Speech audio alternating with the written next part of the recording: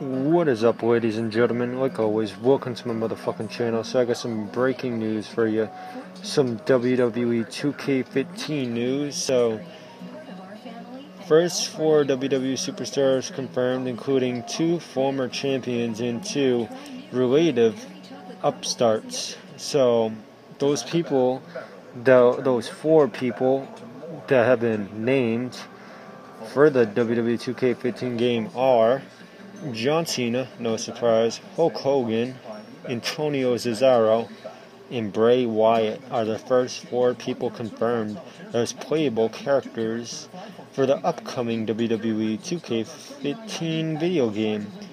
The announcement was made viral several outlets, including the official Facebook page of the WWE 2K15.